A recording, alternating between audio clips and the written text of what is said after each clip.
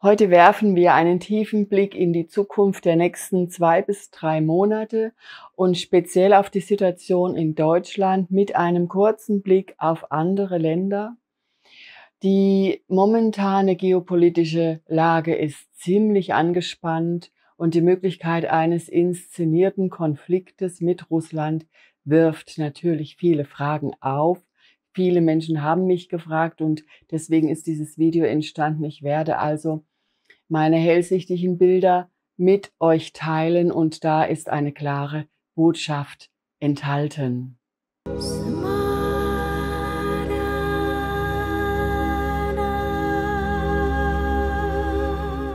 Bevor wir jetzt beginnen, möchte ich euch noch darauf hinweisen, dass das Smarana Festival vor der Türe steht und dass wir uns dort treffen, dass ich dort persönlich für euch da sein werde, dass ich Fragen beantworte und wir eine sehr große Heilung für uns selbst bekommen, eine Stärkung bekommen und ich auch ähm, Botschaften für euch natürlich überbringen werde. Ich freue mich schon sehr, euch zu treffen und es wird wunderschön und etwas ganz Besonderes haben wir arrangiert und zwar werden wir eine sehr, sehr gute Yoga-Lehrerin haben, welche für uns chantet. Sie wird Mantras chanten und das geht so tief. In mir sind die Tränen gekommen, als ich sie das erste Mal gehört habe und ich freue mich wirklich so sehr darauf. Und ich bin gespannt, was ihr dazu sagt. Also wer jetzt möchte, kann dann auch an einer Yogastunde teilnehmen. Es wird Matten im Zentrum geben. Es, man kann natürlich auch seine eigenen mitbringen. Das macht ihr so, wie ihr möchtet. Und natürlich Urna ist auch da mit ihrem tiefgehenden mongolischen Gesang. Es wird einfach so wunderschön werden. So, und jetzt aber kommen wir ganz schnell zu dem wichtigen Thema, ähm, die Zukunft, die Aussichten für die zwei bis drei Monate. Ich möchte euch in erster Linie sagen, diese, diese Botschaften, die ich euch überbringe, dienen der Information, so dass man weiß, was zu tun ist und vor allen Dingen auch, äh, dass man gewappnet ist für diese krassen Fake-Nachrichten, die uns noch erwarten. Ist es nämlich jetzt nicht so, dass äh, das, was wir die ganze Zeit hatten, das war ja auch sehr viel Unwahrheit, was uns da immer wieder vorgesetzt wurde. Es steigert sich kolossal und äh, es ist noch mit viel mehr Angst gemischt, Angst von den Medien, also auch inszenierte Angst und dadurch haben diese gefakten Nachrichten nochmal eine tiefere Wirkung. Und diese Wirkung betrifft jetzt natürlich nicht alle Menschen. Menschen, die schon sehr bewusst sind, die also auch aus der C-Zeit gelernt haben und aus den letzten Ereignissen von den Cars, die hier auch inszeniert wurden, die sind gewappnet. Aber es gibt auch noch sehr, sehr viele Menschen, welche in große Panik geraten werden. Und das ist das Problem. Und das ist natürlich von der Gegenseite so gewollt. Sie fahren dermaßen massive mh, mm, in Szenarien auf, um uns letztendlich in die Agenda hineinzudrängen, um uns letztendlich Dinge akzeptieren zu lassen, die wir in einem normalen Zustand niemals akzeptieren würden. Also bleibt insgesamt ähm, wachsam mit eurem Geist und äh, glaubt am besten schon gar nichts mehr. Also es, es ist ja so, dass äh, die Politik, man hat es ja gesehen, schon jahrelang jetzt gar nicht das tut, was wir, für was wir stehen. Und dass wir dadurch völlig fremd geleitet in irgendwelche Szenarien hineinkommen. Und jetzt ist es aber so, dass in den nächsten zwei Monaten, drei Monaten, äh, sich die Situation dermaßen zugespitzt hat, dass das, was man eigentlich erst fürs nächste Jahr vorausgesehen hat, jetzt schon so nah ist. Und das heißt also, man sollte immer wieder neu sich informieren, neue ähm, Deutungen oder Prognosen sich anhören, denn die Energien veränderten sich dermaßen stark, dass sich jetzt auch die Situation so verändert hat. Es sind insgesamt sehr starke Erwachensenergien unterwegs. Und diese Erwachensenergien betreffen uns alle, auch wenn wir schon sehr weit erwacht sind, wird da nochmal das Innerste in uns gerüttelt und vor allen Dingen die Menschen, die sich noch nie so richtig darum gekümmert haben, die werden sehr stark gebeutelt werden. Und die benötigen dann auch unsere Hilfe. Also ihr werdet sehen, es wird viel zu tun sein. Und äh, gerade wenn diese Menschen, die jetzt ähm, da immer so oberflächlich sind, die sagen, ach na ja, ist ja alles gelogen, ich weiß, äh, habe mich schon dran gewöhnt, die ereilt es dann in einem Maße, wie man gar nicht sich das vorstellen kann, denn es wird eine immense Angstenergie aufgebaut werden in Bezug auf K, in Bezug auf K auf Europa und auch auf Deutschland. Und da dazu habe ich Bilder, hellsichtige Bilder erhalten. Und ich kann euch beruhigen, es wird kein K geben, auch wenn hier alles verrückt spielt. Es wird aber gefakte Nachrichten über K geben. Und das ist der Punkt. Und wenn dann die Menschen das hören, diese gefakten Nachrichten, sind sie sofort ganz tief in der Angst. Das ist ja auch verständlich. Das heißt also, gerade die Nachrichten, die jetzt in den nächsten Zeiten kommen oder die Meldungen, prüft das ganz genau prüft das ganz genau und letztendlich werden wir feststellen, dass gar keine Angriffe getätigt wurden, weil uns gefakte Bilder und Filme gezeigt werden. Und das ist so eine, eine Situation, die gab es eigentlich noch nie. Also hm, es, ist, es ist dieser Wachruf von so einer tiefen Angst, der aus so einer tiefen Angst und Verzweiflung hervorkommt, für die Menschen wichtig, dass sie das verstehen, dass man jetzt wirklich nicht mehr so weitermachen kann. So diese Oberflächlichkeit, das, das geht nicht mehr. Es ist unmöglich.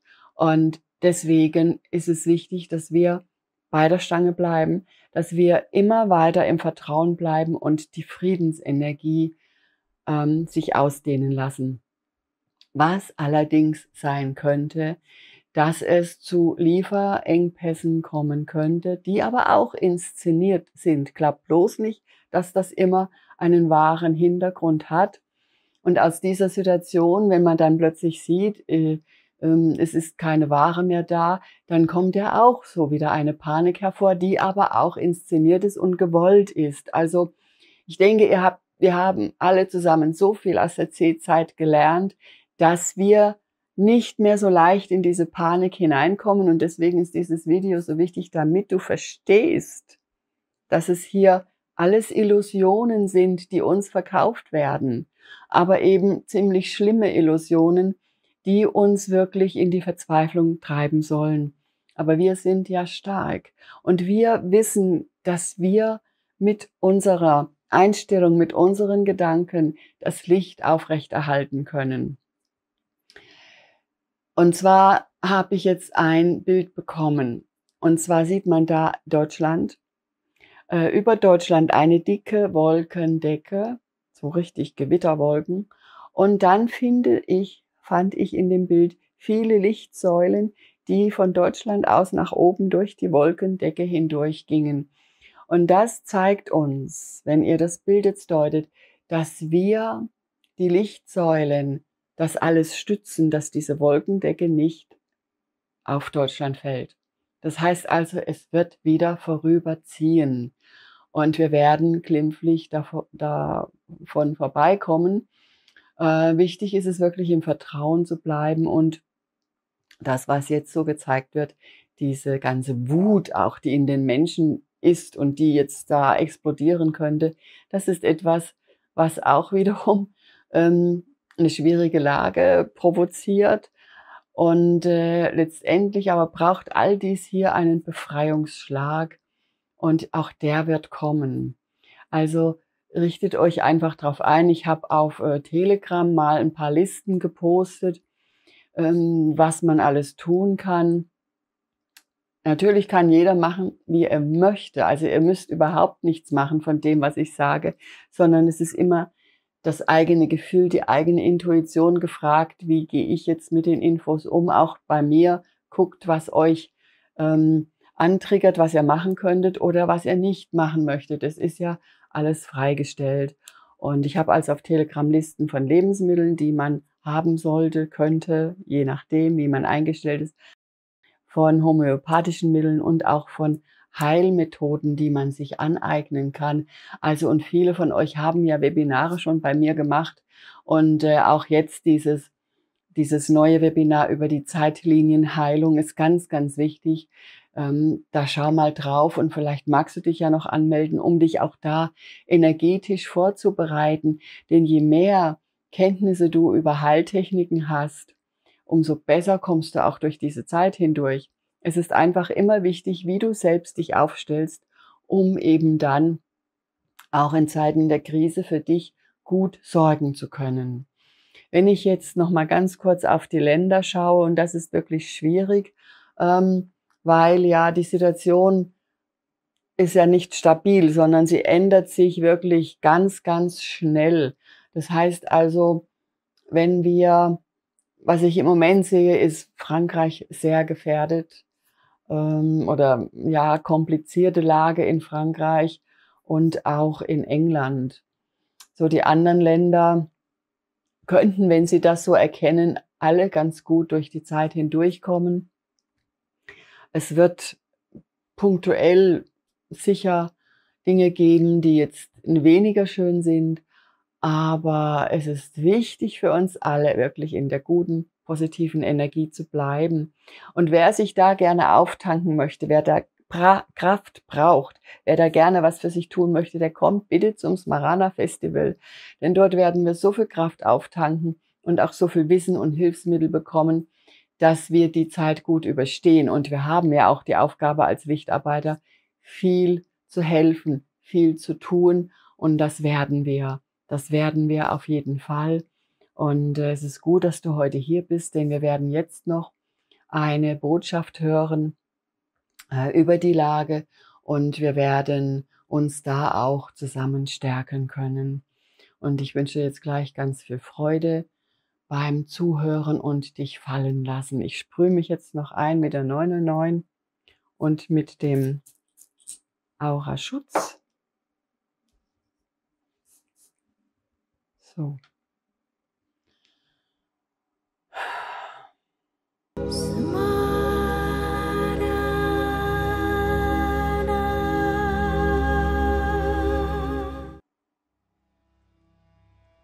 Geliebte Herzensmenschen, ich darf einen jeden Einzelnen heute aus den Tiefen meiner Seele voller Liebe begrüßen.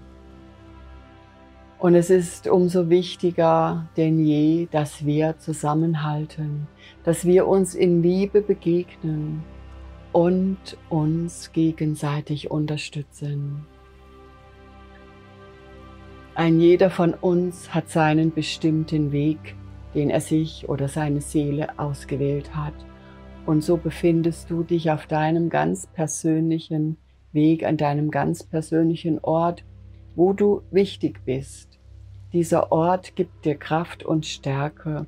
Und wenn du dich mit Mutter Erde verbindest, wirst du fühlen, dass du niemals alleine bist. Und so bitte ich dich jetzt, das Licht der Liebe einzuatmen und mit diesem Licht zu verschmelzen. Es ist wie ein Geschenk, das dir über diese Liebe und dieses Licht von der geistigen Welt übergeben wird. Denn diese Energien werden dich festigen und stärken.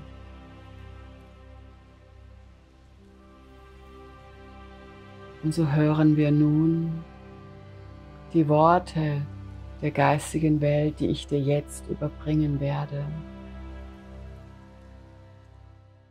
Es sprechen die Luminea-Engel zu uns. Geliebte Menschen, geliebte Herzensmenschen,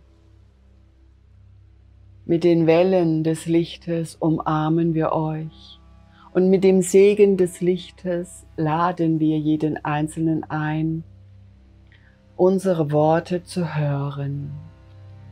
Und so freuen wir uns, dass gerade du heute hier bist. Wir, die Luminea-Engel, bringen Heilung und Kraft auf die Erde. Und jetzt in dieser besonderen Zeit sind wir an deiner Seite. Und es ist so wichtig, wichtiger denn je, im Vertrauen zu bleiben und sich auf seine eigene Wahrheit zu konzentrieren. Es ist so wichtig zu erkennen, dass das, was in deinem Inneren geschieht, auch im Außen geschehen wird. Und so bitten wir dich, dich regelmäßig energetisch neu auszurichten, dich zu reinigen und auf deine Herzensflamme zu konzentrieren. Denn nur so hast du genügend Kraft. Nur so wirst du gut durch diese Zeit hindurchkommen und nur so wirst du mit deiner Seele vereint deine Aufgabe erkennen. Uns alle erwartet Großes und wir, die Luminärengel sowie auch alle anderen Engel und lichten Wesen des Universums, schauen gespannt auf die Erde und wir senden unsere Liebe zu euch, um zu unterstützen, um zu helfen. Denn das, was hier geschieht, ist etwas ganz Großes. Das, was hier geschieht, ist der Schritt in die neue Ära des Bewusstseins.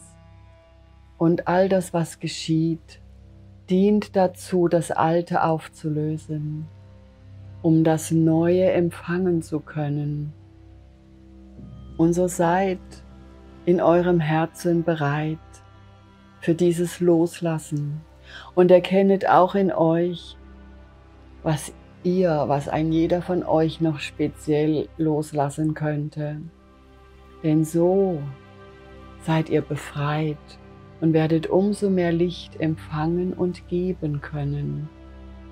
Die Zeit des Loslassens von vielen negativen Dingen ist jetzt, gerade jetzt. Und du, mein allerliebster Herzensmensch, und ihr, ihr alle zusammen, die ihr heute hier seid, seid schon bereit, diesen wichtigen Schritt zu tun. Und so senden wir euch jetzt unsere Liebe und den Segen des Lichtes, um euch zu stärken. Und so genießt jetzt ein wenig noch diese wundervolle Energie, die wir euch senden, während wir uns von euch verabschieden.